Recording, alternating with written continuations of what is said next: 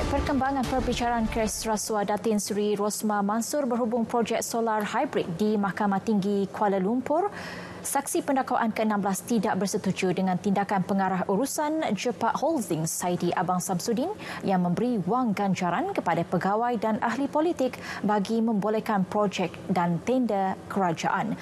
Ryan Radzwil Abdullah yang merupakan rakan kongsi dan perunding Jepak Holdings sebelum ini memberitahu nasihatnya berhubung perkara itu tidak diendahkan Saidi.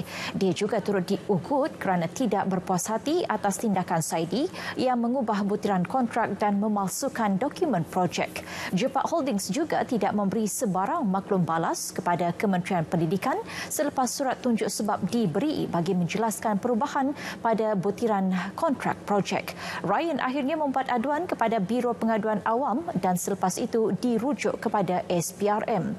Perbicaraan kes di hadapan Hakim Muhammad Zaini Mazlan bersambung esok.